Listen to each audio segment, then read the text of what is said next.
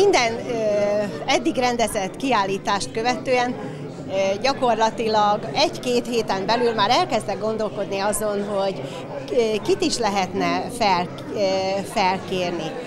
A tiszteletes hozzánk járt a főiskolára, kertészmérnöki diplomát szerzett nálunk, én őt már régóta ismerem, de a képeit még nem láttam kiállítva sehol.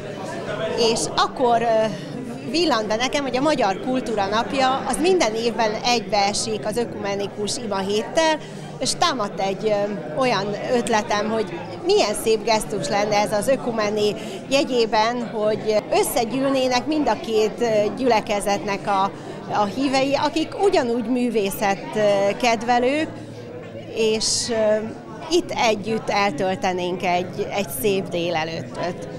Tulajdonképpen így innen származik az ötlet, és az Egyesületünknek a tagja, és őt plébánosunk Molnár János atya is e, e, támogatta ezt az ötletet. A Beregszaszi Keresztény Értelmiségiek Szövetsége 2020-ban fogja ünnepelni megalakulásának ötödik évfordulóját, és vannak kimondottan egyházi jellegű rendezvényeink, de számos olyan kulturális rendezvényt is szervezünk.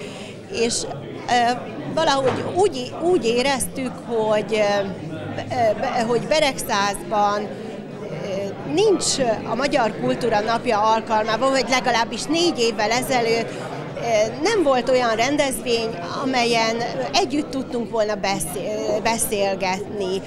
Vannak színházi előadások, amit megnéz a közönség, és utána, és utána távozik, az is a kultúrának egy része.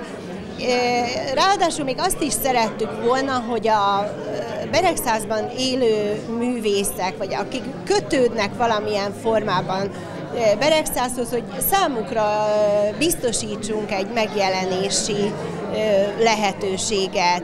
Az első kiállítást azt Gogola Zoltán festőművésznek szerveztük, a második a ifjú Hidi Endre keramikus művész, a tavalyi kiállítás pedig Veres Ágotály volt, aki szintén a mi egyházközségünknek, sőt édesanyja tagja is volt ennek a Beregszászi késznek.